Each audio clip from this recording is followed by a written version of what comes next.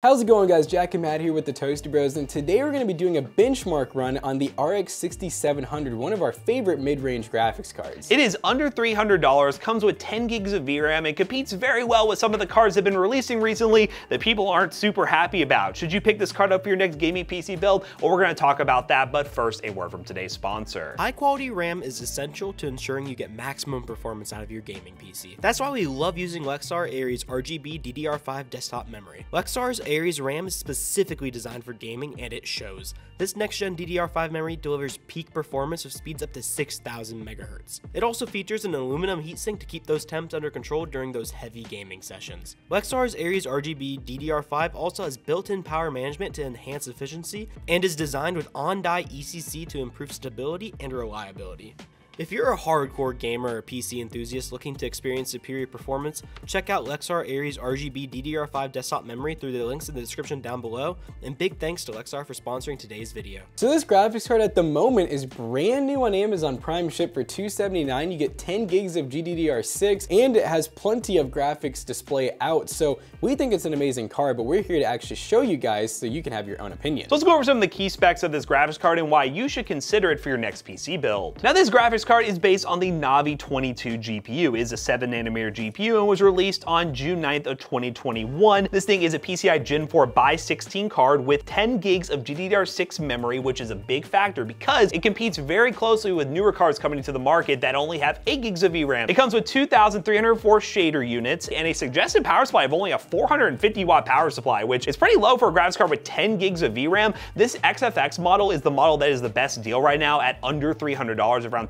279 bucks. It does go on sale regularly for even less than that, and you're getting the 10 gigs of VRAM compared to some of the newer cards out there. So if you're really worried about VRAM, this might be a good option for you to play the latest titles. But let's talk about the test bench we're gonna be throwing this graphics card in, and then we'll dive into some games and see exactly how it performs. Now to go over our test bench, we have the Ryzen 7 5700X 8-core 16 thread cooled by a very nice 240 mil liquid cooler for all that cooling capacity. We have 32 gigs of PNY Accelerate 3600 MHz RGB RAM, a one terabyte Team Group NVMe SSD. We have an Asus TUF B550 Micro ATX. We have an XPG 650 watt 80 plus bronze power supply, and then all of this is inside of a very nice deep cool case with lots of RGB fans that run very fast so we have good airflow. So now that we talked about the test bench and the graphics card a bit, let's go ahead and slap it in there, play some of our favorite titles, and see if you should buy this graphics card in 2023.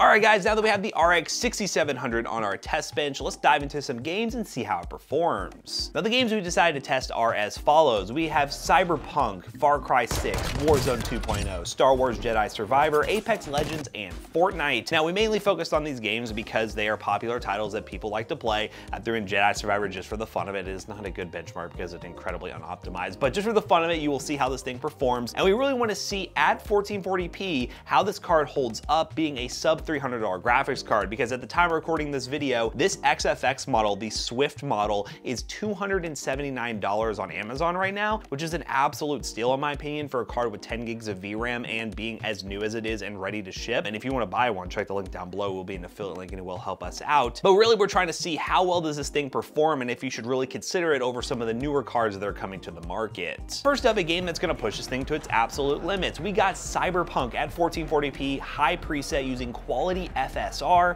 we got an average of 76 FPS, a minimum of 43, and a max of 103. Not exactly a high refresh rate experience in Cyberpunk, but we're talking 1440p high settings, and using FSR, it allows us to get a very playable experience in a game that is incredibly demanding. Now, when it comes to this graphics card, you're really looking at 1440p, 60 plus FPS, high details in the latest AAA titles, and then when you stretch into esports titles, a 144 plus FPS experience, as you'll see later on throughout the benchmarks, but the 10 gigs of VRAM does help this card out a decent amount. We didn't see it get fully maxed in Cyberpunk because we were running FSR and lower details, so we weren't utilizing the VRAM nearly as much. But in those games that do pull a ton of VRAM, newer AAA titles that have come to the market like Last of Us and Hogwarts Legacy and games like that, you will see a benefit of having the 10 gigs of VRAM versus 8 in cards that are around the same price point as this one, RTX 4060 Ti. Now let's go to another AAA title. We got Far Cry 6 with the built-in benchmark on Ultra settings, and this time we did not use FSR because we wanted to see the raw horsepower of this graphics card.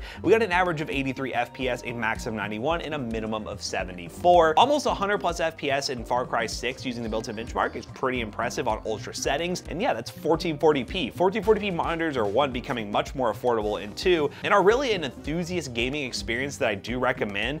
4K is cool and all, but honestly, a good 1440p high refresh rate monitor is my personal opinion for value for money um, if you are looking to take the next step from 1080p. And this card works absolutely great for it. And as you'll see in the next games we will be tested with esports titles, you'll have no problem taking advantage of a high refresh rate display as well. Now let's talk about Warzone 2.0, 1440p balanced preset with balanced FSR. We got 140 plus FPS with 120 at times. We did dip down to the 100 range every so often. For the most part, you're getting a 100 plus FPS experience in Warzone 2.0, and I was having a pretty good time. Well, not really. I kept dying over and over again, but you know what? But it was still a great gaming experience overall, and FSR really helped this card out.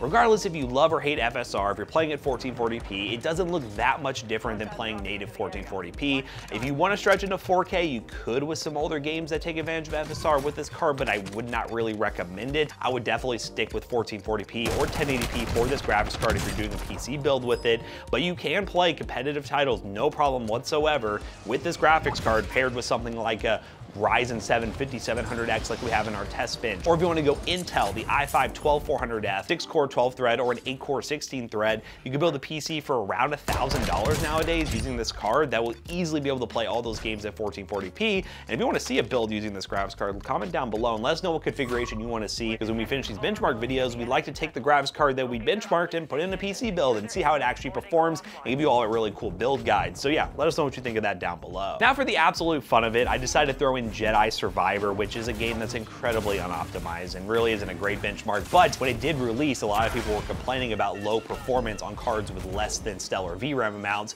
8 gigs or less. And since it says 10, we decided to test it on medium settings 1440p using balanced FSR, and we got 60 plus FPS, 70 at times. For context, I played this entire game through on my PC at home with a 2080 Super with 8 gigs of VRAM. In the same scenario, I was getting dips below 60, so it does help a bit. Um, the game is getting optimized slowly but surely, but I was still very happy to see that you're able to get a 60 plus FPS experience in a game that's kind of a dumpster fire, but very fun to play. Now let's dive into the esports titles, which again, I do have to preface, most of these games will be GPU bound, but they are very reliant on a CPU. So your CPU choice does very much matter if you're mainly playing esports titles. In Apex Legends 1440p max settings, we're getting pretty much the cap, 144 FPS with dips into the 120s and 130s sometimes in a big open arena game mode. Um, it, it was very playable, very smooth, good frame rate frame times, no real bad latency overall. The milliseconds between frames was really solid and overall it makes for a great competitive experience. You can unlock the frame rate limit in Apex on Steam, but we didn't do that because I honestly thought it was gonna dip below that running these ultra settings, but it stayed pretty steady and did dip below that every so often. Running higher settings is probably your best bet. Ultra is kind of ridiculous, honestly. Most people don't run ultra settings in games nowadays. High settings is just fine. It'll give you way more performance. But just for the fun of it, we ran Ultra, and as you can see, high refresh rate experience. And last but certainly not least, we got good old Fortnite, which again is a very CPU dependent game, but we ran 1440p high settings with quality TSR, and we got 120 plus FPS. Fortnite looks really good on higher settings, and man, it eats up a lot of RAM. It was using like 16 to 17 gigs of system memory, which is absolutely insane. But to speak of this graphics card, I really, really like it. And I really think this is a car that you should be going for if you're building a mid-range to high-end gaming PC for around $1,000. There are other cards out there. The 4060 Ti does exist, and there's gonna be the 16 gig version that does exist, but it's gonna be even more expensive than this card.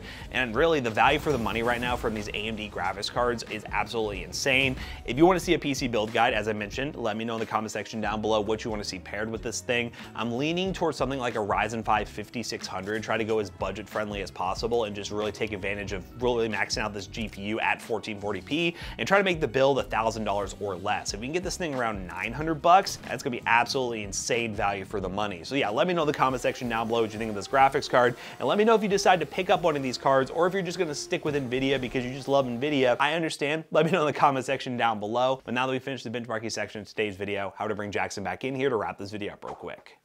Alright guys, we just got done benchmarking this beautiful 3-fan XFX graphics card, and yes, the 6700 with 10 gigs of VRAM is an awesome deal at 279 especially brand new with the warranty. Keep in mind, you can also check eBay to find these cards used, or maybe you can get an XT with 12 gigs for cheaper than this one if you do some deal hunting. Yeah, these AMD graphics cards are great value right now, and if you've been on the fence about jumping to AMD and have been really upset with the pricing that NVIDIA has to offer, then you should definitely consider one of these AMD cards on the new or used market by checking the links in the description down below. They will be affiliate links, and they will help us out. Let us know what you think of the RX 6700 non-XT. Is it a graphics card for your next PC build? Do you want to see a PC build video with this graphics card? Let us know in the comment section down below. And as always, we hope you guys enjoyed today's video. If you did, check out our other two YouTube channels and also our twitch.tv slash toastybros, and do not forget to like, comment, and subscribe. And we'll see you guys in the next one. Bye-bye. Now, if you don't want to have to worry about any of the stuff that we just said, you just want some FPS, you want to play your games, and you want a warranty with the whole entire computer, not just the graphics card, check out PCBros.tech. PCBros.tech, gaming PCs, gaming laptops, and so much more. Use code ToastyBros2 and check out the save 2% on your next purchase. I almost forgot what I was saying there, but you know what? PC Bros just is that great, and you could get mouse pads and desk mats at some point at PC Bros. Some point, I'm like a promise a date. See you guys later. Goodbye. Peace out.